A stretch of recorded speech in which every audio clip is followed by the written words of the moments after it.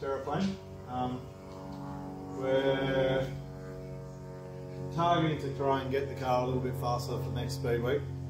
So um, we've got Kieran here today, Hey guys, how you going? and Kieran's background is to do with aerodynamics and whatnot. We'll let him tell you all about it. But yeah, we're going to look at some opportunities to get the car more stable and safer, and hopefully faster with less drag as well. And if we can, some more downforce and traction. So, tell us about what you do. Uh, yeah, so my background, well, actually, I'm from Perth, Perth based. Um, studied at the local university, ECU, um, where I went over to UK and uh, worked for Renault Alpine. Um, and um, yeah, I'm just back in Perth now, so a bit of a side project to, to work on a few of these uh, land speed record cars, drag cars. Yeah, helping out the poor old racers. so, uh, tell us about your experience working for the F1 team. Um, yeah, so I was involved with uh, yeah Renault Alpine Formula One uh, for three and a half years.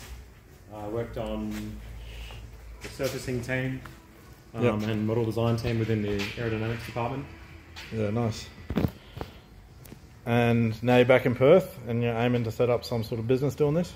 Yeah, absolutely. So a bit of a part time part time gig. I've got to try and stay in motorsports, I guess. Keep my yeah my brain ticking over. Yeah, yeah it's fun, right? More Yeah, fun it than being yeah, a normal engineer. Absolutely. So, what sort of things can we look at doing with the back of the terraplane here? Um, yeah, so I think a big thing is, well, just concentrating on cleaning up the airflow. Um, so a lot of the components themselves, so I guess the end plate, uh, fix, fixings, um, all these types of fixing points to try and, So, stop it looking like a farmer it, and like a. yeah, maybe try and delete them a bit. Um, better for airflow, more streamlined. Um, yeah, that's a really big And then Key chopper, I guess, the on the- on the what are we back. looking at doing? uh, the bonnet, the scoop. So trying to angle that to profile it over to the roof.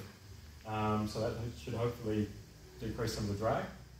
So some of the other things we've been looking at is these vents and whatnot on the car, and these are apparently going to be quite draggy. So uh, in the older class, we're allowed to change everything up the front, so we might do that. And obviously the hood scoop, we've got some opportunities there to go for another design, because why not make another one? Yeah, the front end, um, potentially pushing that in further. Uh, really trying to get a more efficient front end or front splitter. So we've- we've got a lot of ideas today. How many of them we actually manage to achieve before next speed week, we don't know. But um, yeah, stay tuned. We'll, we'll keep you updated as we go, and we'll, we'll see if we make the car a bit quicker.